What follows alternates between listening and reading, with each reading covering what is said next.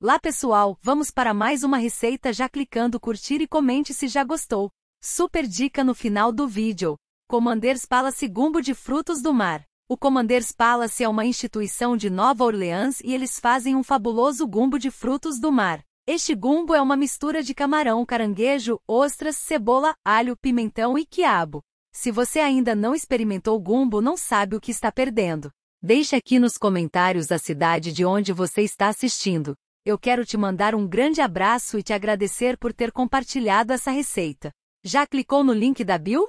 Clique e veja as dicas como emagrecer sem grandes sofrimentos e desfrutando com o que já tem na sua geladeira. Volte a usar aquela roupa que está guardada. Com um clique você terá todas as dicas na palma da sua mão. Não fique esperando, comece hoje mesmo. Por mais de 100 anos, o Commanders Palace tem sido um marco venerado localizado no Garden District de New Orleans. Mas há muito mais neste restaurante lendário do que seus infames martinis especiais de almoço de 25 centavos. Você pode fazer gumbo de frutos do mar do Palácio dos Comandantes com esta receita.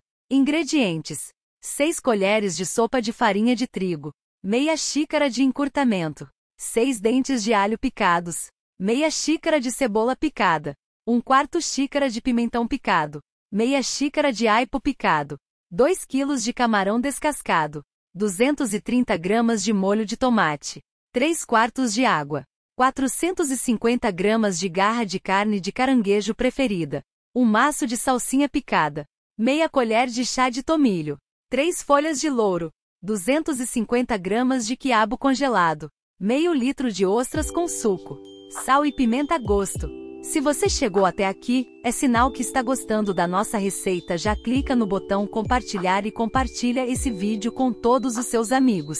Para você não vai custar nada, mas para nós vai fazer toda a diferença. Instruções: Faça um arroz com a farinha e a gordura vegetal.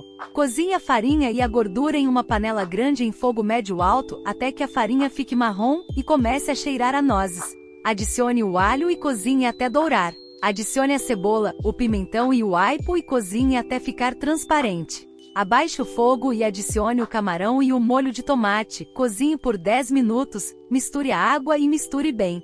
Abaixe o fogo para ferver e adicione todos os outros ingredientes, exceto o quiabo e as ostras. Cozinhe por cerca de 30 minutos, adicione o quiabo e cozinhe até que o quiabo fique verde brilhante. Adicione as ostras e cozinhe por mais 10 minutos.